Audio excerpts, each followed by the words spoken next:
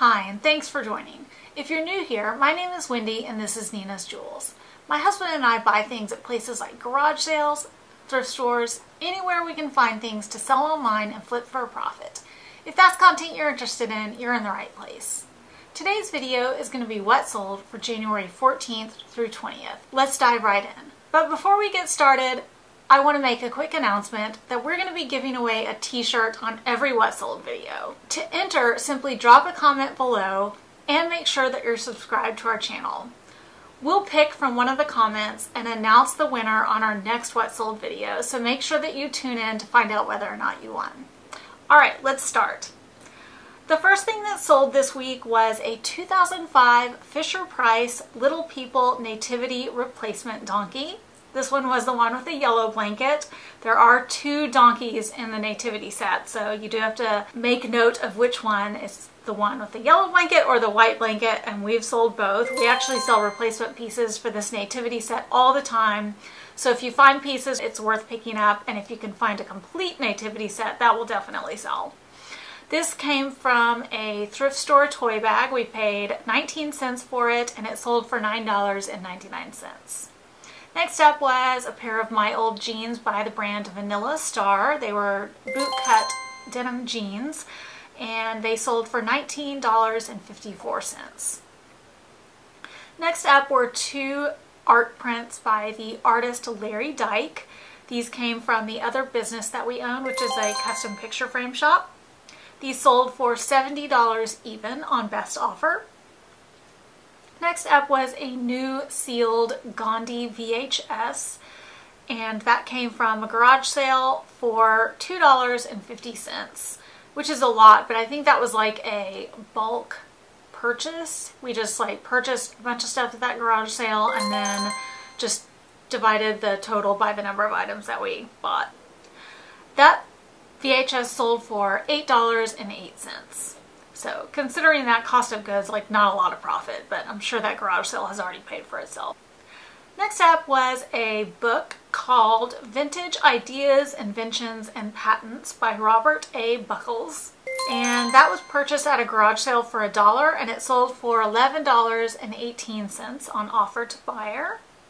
Next up was a vintage 1940s, 1950s lot of five recipe booklets.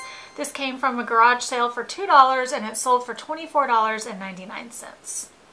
Next up was a 1979 Cummins C-shaped belt buckle that came from an estate sale for $5 and it sold for $39.98 on offer to buyer. Next up was four Blues Clues VHS.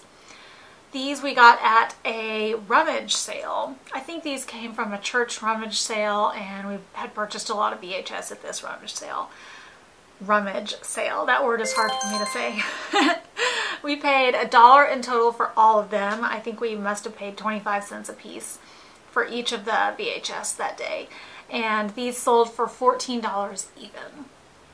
Next up was a vintage lot of 121 various Craftsman, Bonney, Sparta, Husky, Powercraft, and Thorsen sockets. We got those at a garage sale for $20 and they sold for $59.98 on offer to buyer. Next up was a set of vintage 1950s Marcrest Daisy Dot Sugar and Creamer. We got this at a different church rummage sale and we had paid $2 for those. They sold for $22.50. And I picked up several pieces from this particular set, the Marcrest Daisy Dot. And we've sold, I think this is either the second or third item to sell, so I'm definitely going to pick up the uh, pieces from this set if I ever see them in the future because they've sold well. Next up was something from that storage unit. This was a lot of two Chromebook computers. They were different brands. One of them was Dell and one of them was Acer. We didn't have cords for them. We had no idea if they worked, so we did sell them for parts or repair only. We paid $1.16 for these and they sold for $54.55 on auction. Next up was another item from that storage unit. This was a lot of two flip phones. One was Samsung and one was Nokia. These were also for parts or repair. We did not know if they worked. We paid $1.16 and they sold only for $9.99 on auction. Next up was a Ralph Lauren golf button-up shirt. This came from a thrift store a long time ago. We have had this one for a long time. We paid $4.02 for this and it sold for $16 even on best offer. Next up was a, uh, a mistake. this was a Keurig coffee water filter assembly and eight filter cartridges. These were um, all new in package. We had gotten these at an estate sale a long time ago. Um, and actually, we um, had picked these up and put these in a bag at that estate sale and like accidentally did not pay for this particular bag. So yeah, we accidentally stole these from estate sale.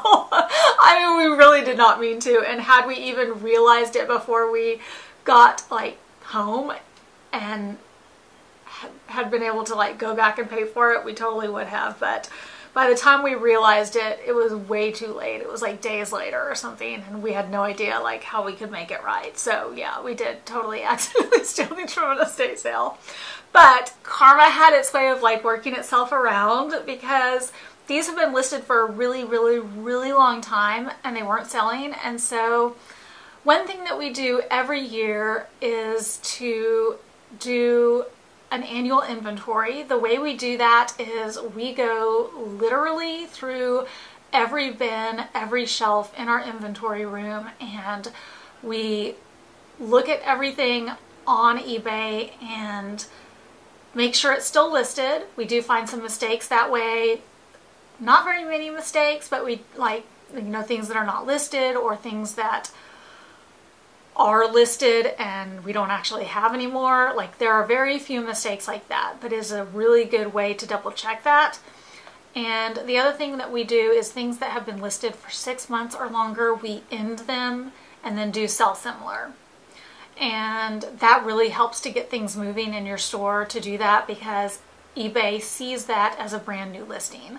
And so that's why some of the things that we've been um, ending and doing sell similar on that we've had in our store for maybe like two years or longer, we are really trying to flush out some of those items.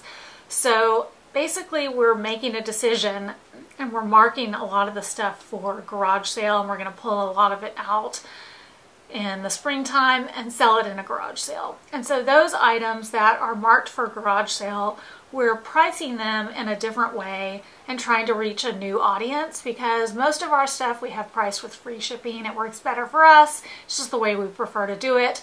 But we do realize that that does limit the types of people who are looking at our items because some people don't like to do it with free shipping and some people only look at stuff that's plus shipping. So sometimes it just pricing your items differently will get a new set of eyes on them. So the stuff that we're marking for garage sale, for the most part, we're repricing it with a very low price, turning off best offer and adding calculated shipping. That is getting new sets of eyes on our items. So over the last couple of what solds, when we do sell items in that way, those are items that we have ended, done sell similar, and repriced that way. And it is helping some of our items to move, but just the practice of ending and sell similar is helping items to move just in the general sense of doing that. But anyway, Karma came back on this item that we accidentally stole and I had ended it and relisted it and set it for a low price plus shipping or so I thought but I had accidentally set it to free shipping so we set it for a low price plus free shipping so we were like, oh no, we're gonna like lose money on this. But anyway, Kevin ended up like figuring out how to like magically pack it in some way so that we like barely eked out a profit.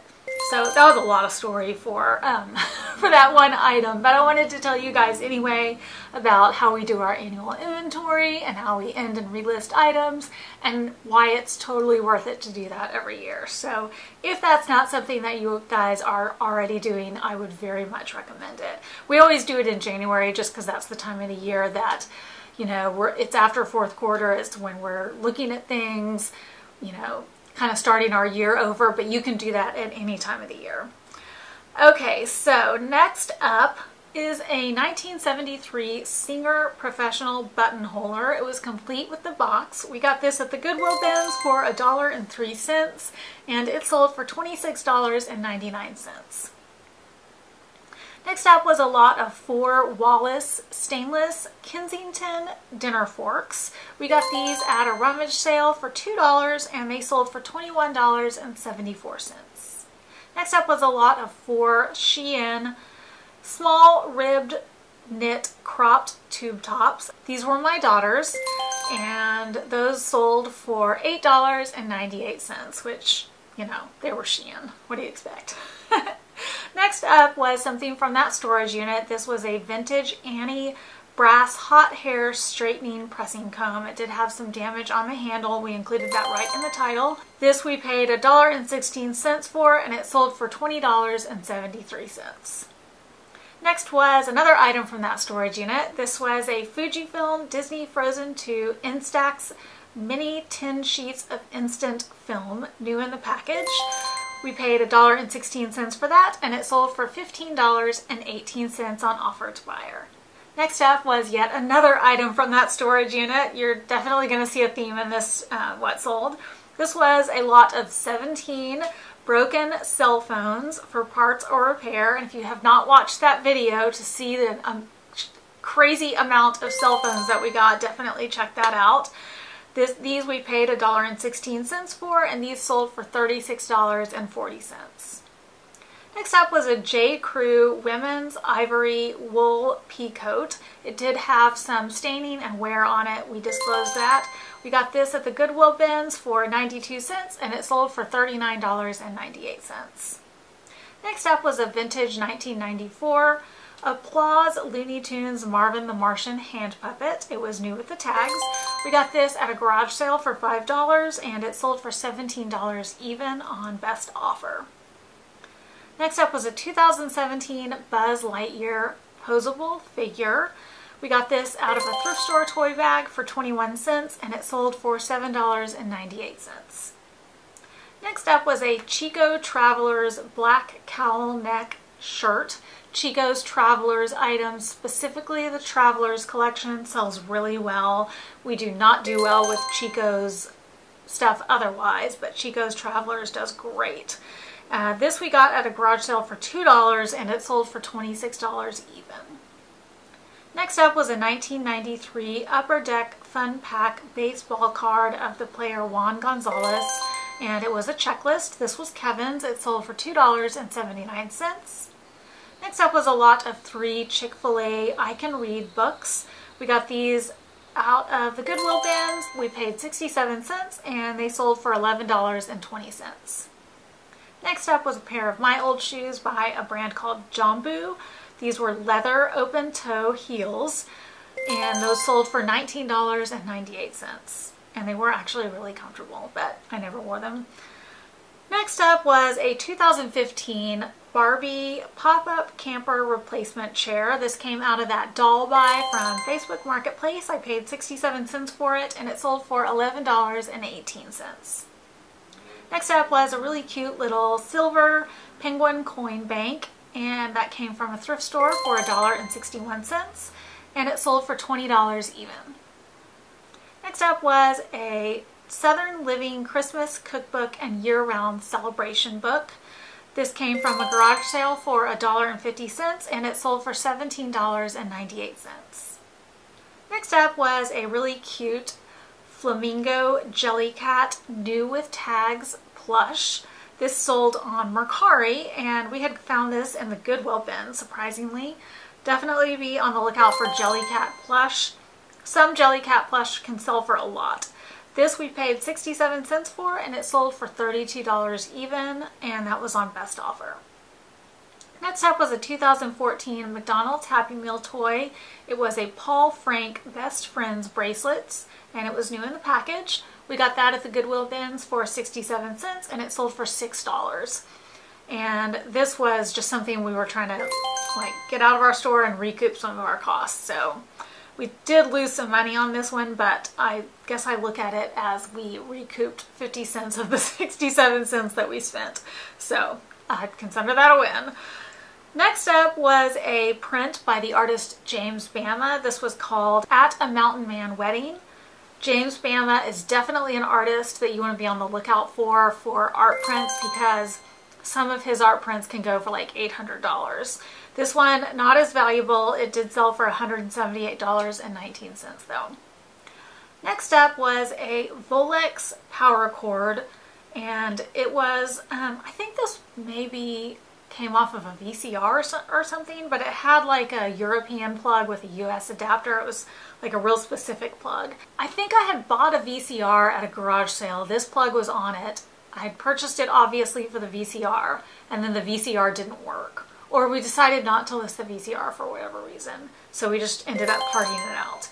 So my cost on this was $5 because that's how much I paid for the VCR, but we just ended up only using the plug off of this. So this plug ended up selling for $10.99 and technically we lost 88 cents on this purchase, but you know, we were trying to recoup some of the cost on that VCR because it was a bad buy and I can't uh, recall exactly why it was a bad buy now. Uh, next up was a Simplicity sewing pattern for a jacket, dress, top, and pants, a full outfit. And it was uncut. We got that at a garage sale for 50 cents and it sold for $6.99. Next up was a wristwatch, needed a battery. We sold it as is. We got that at a garage sale for 50 cents and it sold for $20. Next up was a Cabbage Patch Kid girl doll, and she was wearing an original Cabbage Patch doll shirt. That came from a bulk buy of Cabbage Patch dolls that I made off of Facebook Marketplace. I paid $4.44 for the doll and it sold for $23.98. Next up was a pair of Tom's polka dot open toe cork wedge sandals. We found these in the Goodwill bins for $1.18 and they sold for $25.49. Next up was a Jon Hart lime green zipper pouch. It was personalized. Um, Jon Hart is definitely a brand you want to be on the lookout for. Most Jon Hart items are personalized, but um, you can have the personalization redone or like replaced on a lot of Jon Hart items so you can still sell items that have like personalization on them. I'm not sure I said that very articulately, but I think you get what I mean. We found this at a thrift store on Dollar Day, so we paid a dollar and eight cents for it, a dollar plus tax, and this sold for $15 even. Next up was a hot pink fossil wallet. We got this gifted to us to sell by a family member, so we had no cost, and it sold for $15.18.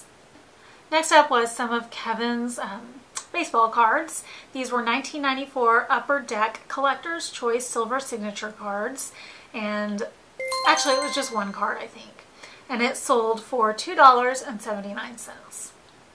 Next up was a black and orange chevron infinity scarf. We found a bunch of these scarves like this one and then some of a different design at the Goodwill bins. We paid 67 cents for each of them and this one sold for $9.23. Next up was a lot of nine Kinder Joy Surprise animal figures. We found this in a thrift store toy bag for 18 cents and these sold for $15.99. Next up was a PIY painting, which is a really weird name to me, but this was a condenser microphone kit. It, um, I don't know if it was new. I don't think we listed it as new, it was. It had the original box and was in really nice condition. We got that at a garage sale for $9 and it sold for $47.99. Next up was a two pack of Burt's Bees. Uh, it included lip balm, hand salve, cuticle cream. It was all new in the box. We got this at um, Big Lots on clearance. We paid $4.35 for it a long time ago. These just would not sell, so eventually we sold this for $9.74 at a loss. So that was just not a good buy, and we did lose money on that deal. Next up was a men's tie by the brand Envoy. This was a paisley all over print made in the USA tie. This came from the Facebook Marketplace garbage bags that I got for $50. We paid 67 cents for each of the items from those bags and this tie sold for $7 on Poshmark. Next up was an art print called Heads Up by the artist Jerry Newman. This was a Ducks Unlimited print. These prints typically sell for a lot more and we have several of these but the ones that we have are damaged so they are selling for significantly less than one would in good condition. This sold for $29.69. Next up was a National Geographic magazine. This came from the someone who was giving away magazines on the Nextdoor app, so we had no cost, and this one sold for $14.99. Next up was a Dooney and Bourke purse. We got this at a garage sale for $3.98, and it sold for $45.78. Next up was two Ion Bright Bluetooth speakers. They were both new. These came off of that pallet Bad Buy and our cost on these was $94.36.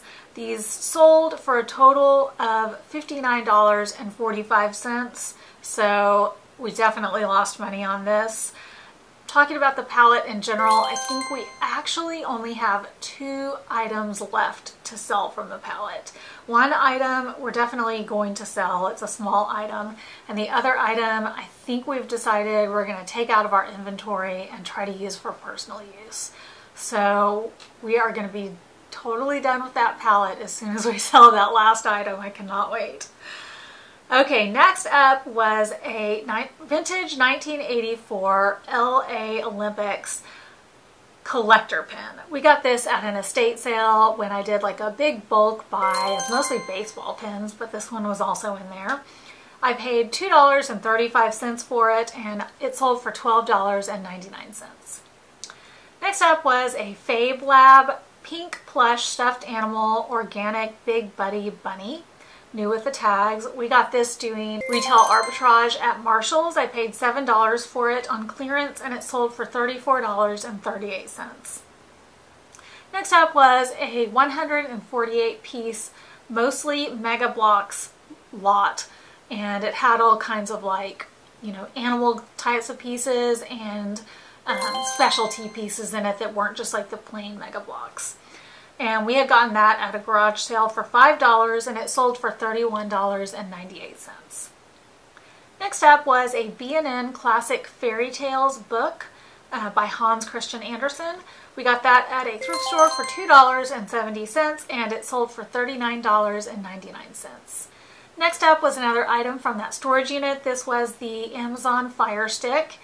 We got that for $1.16 and it sold for $32.28 on offer to buyer. Next up was actually the all the rest of the items are from the storage unit so I'm not going to say it anymore. Next up was a lot of two seashells. These were conch seashells and we had paid $1.16 for those and they sold for $14.99. And last up was a lot of 29 Barbies. And actually some of these Barbies came from other places. Like I had been collecting them for a while. We had gotten some out of the bin, some out of thrift store toy bags, but the majority of them came out of that unit. Uh, so our out-of-pocket cost on these was $2.78 and these sold for $39.99.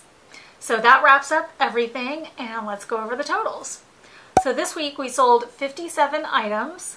Our average sale price was $25.56. Our sales totaled $1,456.95 for a net profit of $640.43.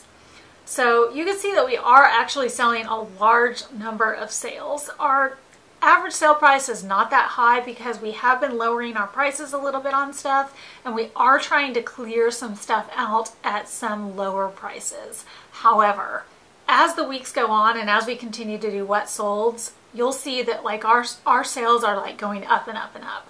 Like we have really been going crazy on sales and I attribute it to almost exclusively to doing the end item and sell similar because that really, really has gotten our sales moving.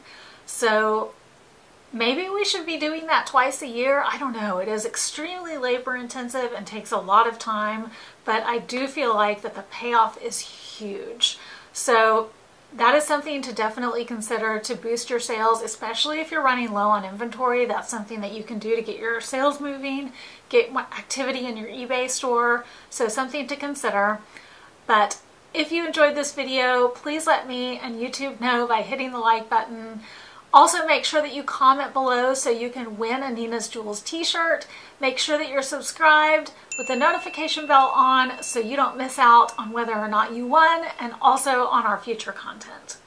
All right, thanks again for joining and we will catch you guys on the flip side.